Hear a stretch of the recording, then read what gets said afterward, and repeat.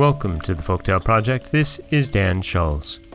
Today's story is our final Brothers Grimm tale of the week, and it's one where we see the saving gender swapped, which is very nice.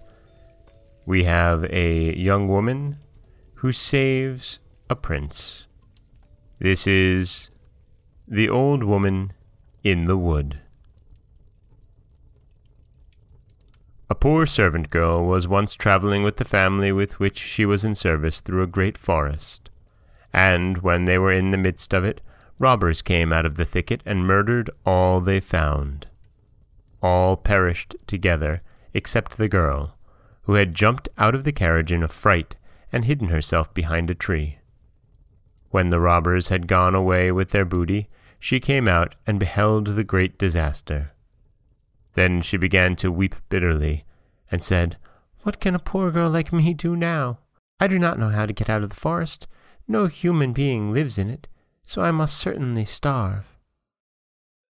She walked about and looked for a road, but could find none.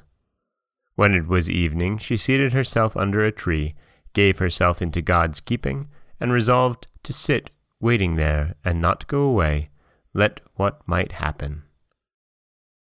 When, however, she had sat there for a while, a white dove came flying to her with a little golden key in its mouth.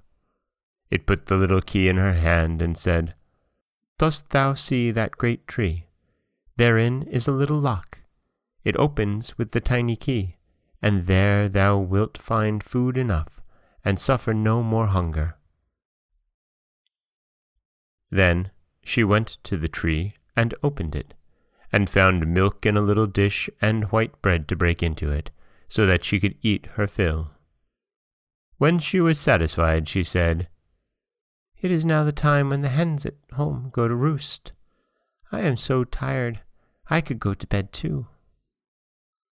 Then the dove flew to her again, and brought another golden key in its bill, and said, Open that tree there, and thou wilt find a bed.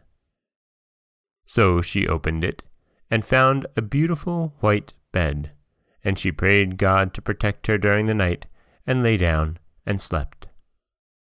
In the morning, the dove came for the third time, and again brought a little key, and said, Open that tree there, and thou wilt find clothes.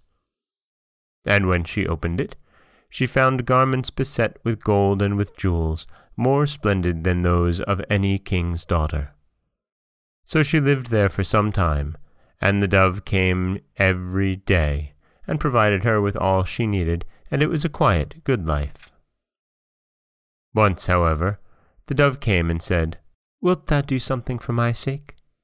With all my heart, said the girl. Then said the little dove, I will guide thee to a small house. Enter it, and inside it an old woman will be sitting by the fire and will say good day. But on thy life give her no answer, let her do what she will, but pass by her on the right side. Further on there is a door which open, and thou wilt enter a room, where there is a large quantity of rings of all kinds lying around. Amongst them there are some magnificent ones with shining stones. Leave them, however, where they are, and seek out a plain one, which must likewise be amongst them, and bring it here to me as quickly as thou canst. The girl went to the little house and came to the door. There sat an old woman who stared when she saw her and said, Good day, my child. The girl gave no answer and opened the door. Whither away? cried the old woman, and seized her by the gown, and wanted to hold her fast, saying, This is my house. No one can go in there if I choose not to allow it. But the girl was silent, got away from her, and went straight into the room. Now there lay on the table an enormous quantity of rings, which gleamed and glittered before her eyes. She turned them over and looked for the plain one, but could not find it. While she was seeking, she saw the old woman, and how she was stealing away and wanting to get off with the bird cage which she had in her hand. So she went after her, and took the cage out of her hand, and when she raised it up and looked into it, a bird was inside, which had the plain ring in its bill. Then she took the ring and ran quite joyously home with it, and thought the little white dove would come and get the ring, but it did not. Then she leaned against a tree and determined to wait for the dove, and, as she stood, it seemed just as if the tree was soft and pliant, and was letting its branches down. And suddenly the branches twined around her, and were two arms, and when she looked around, the tree was a handsome man, who embraced and kissed her heartily, and said, Thou hast delivered me from the power of the old woman who was a wicked witch. She had changed me into a tree, and every day for two hours I was a white dove, and so long as she possessed the ring, I could not regain my human form.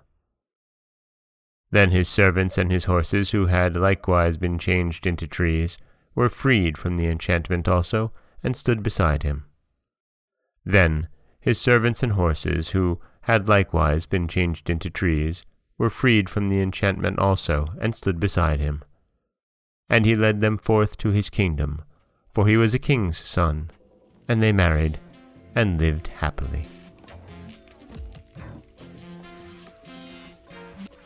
And that is The Old Woman in the Wood.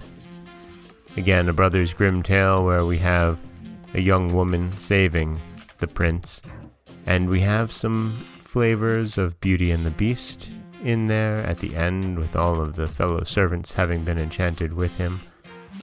We never really get any explanation as to why all of the things were hidden inside of trees, accessed only by tiny keys.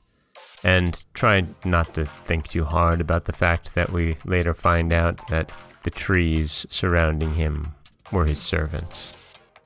It makes it just a little bit creepy. This is Dan Scholes for the Folktale Project. Don't forget that you can subscribe to the podcast on Apple Podcasts, Stitcher, Google Play, Overcast, anywhere you like to get your podcasts. You can also follow us on Twitter at Folktale Project. You can find us on Otto Radio, TuneIn Radio, iHeartRadio, Stitcher, Spotify, anywhere that you like to listen. And you can always head over to folktaleproject.com where you'll find a new story waiting for you every Monday, Wednesday, and Friday. Next week, we're going to change gears and ship off to China with the Chinese Fairy Book, edited by Dr. Richard Wilhelm and first published in 1921. Until then, thank you so much for listening.